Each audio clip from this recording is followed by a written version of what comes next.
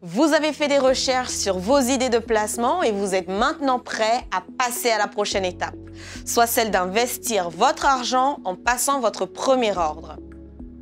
Que vous investissiez sur votre téléphone au moyen de l'appli TD ou encore sur votre ordinateur de bureau ou votre ordinateur portable au moyen de courtier web, l'achat de votre premier placement sur l'une ou l'autre des plateformes peut être fait en trois étapes faciles.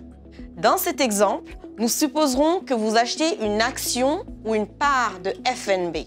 Sélectionnez d'abord le type de placement, entrez le symbole boursier ou le nom de l'entreprise, puis consultez la cote pour connaître le cours actuel. Lorsque vous êtes prêt, cliquez sur Acheter et sélectionnez le type d'ordre. Parmi les types les plus courants, on retrouve les ordres au prix du marché et les ordres à cours limité. Si vous choisissez un ordre au prix du marché, vous achèterez votre action au cours actuel du marché.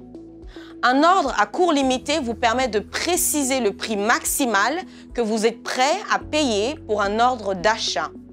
Le cours que vous entrez doit être égal ou inférieur au cours actuel du marché pour qu'un ordre d'achat soit effectué. Cela signifie qu'il est possible que votre ordre ne soit pas exécuté si l'action ou la part de FNB n'atteint pas le cours que vous avez indiqué. Remplissez les champs restants et confirmez vos renseignements à l'écran suivant. Si tout semble correct, vous pouvez envoyer votre ordre. Je vous l'ai dit, c'est facile. Pour en savoir plus sur la façon de passer des ordres, consultez notre contenu approfondi sur la saisie d'ordre sous l'onglet Apprendre dans Courtier Web.